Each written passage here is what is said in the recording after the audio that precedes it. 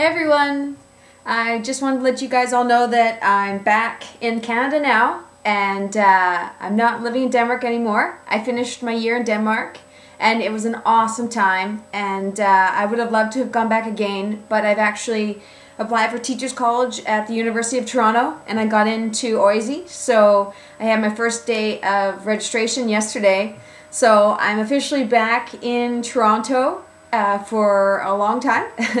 it's been about eight years since I've really been based back here again.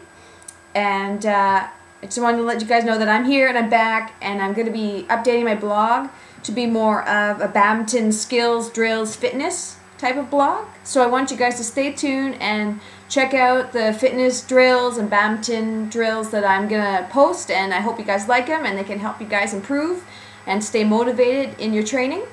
And so make sure you follow me over the next little while, and I hope everyone's doing great. Okay, talk to you guys later. Bye.